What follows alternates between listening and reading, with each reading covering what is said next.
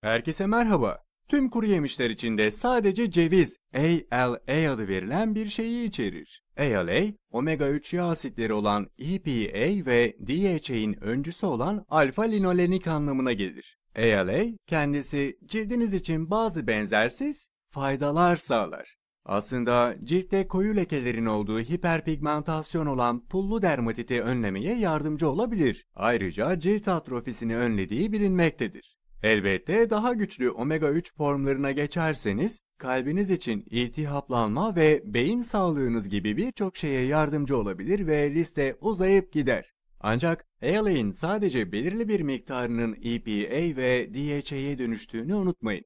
EPA'ye dönüştürme oranı kabaca %10 ile 21'dir ve sonra DHA'ye dönüştürme oranı sadece %5 ila %9'dur.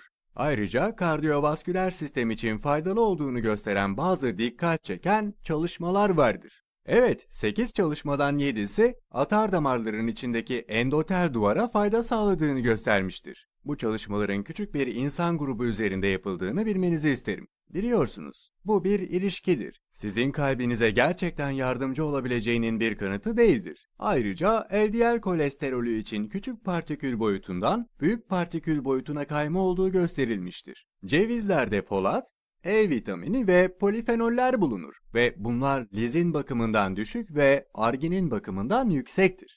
Arginin büyüme hormonunu artırmaya ve fazla amonyağın atılmasına yardımcı olabilir. Bu yüzden üre döngüsüne girer. Arginin ayrıca kan basıncı ve kardiyovasküler sağlık için faydalı olan nitrik oksidi de artırabilir. İşte ceviz ile ilgili sorunu şu. Çoğu insan cevizi yanlış yiyor. Bazen tahıllardan daha fazla fitatları içerir ve şişkinliğe neden olabilen enzim inhibitörlerine sahiptir. Buna çözüm cevizi çimlendirmektir. Böylece 24 ila 48 saat suda bekletmek bu fitat ve enzim inhibitörlerini ortadan kaldıracaktır. Tabii ki bunları fırında düşük ısıda veya kurutucuda kurutmanız gerekecektir. Fitat, çinko, demir ve magnezyum gibi bazı minerallerin inhibe edilmesi gibi bir soruna sebep olur.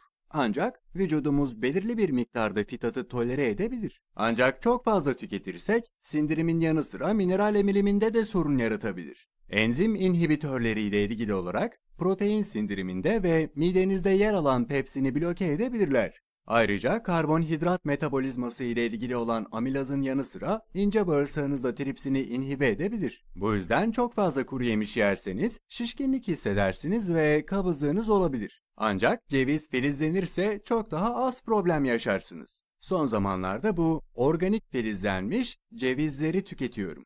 Bu gerçekten iyi bir markadır. Yemekten sonra tüketiyorum ve çok lezzetliler. Normal bir cevizin yapacağı şişkinliğe neden olmaz. Görünüşe göre bunları yaklaşık 48 saat boyunca filizlendiriyorlar. En alta bir bağlantı ekleyeceğim. Çünkü insanların üzerinde çok çalıştığı kaliteli bir ürün bulduğumda onu tanıtıyorum. Şimdi küçük bir nokta eklemek istiyorum. Ürünün sadece saf halini tavsiye ediyorum. Çünkü diğerinde bal türü bir tatlandırıcı olduğunu düşünüyorum.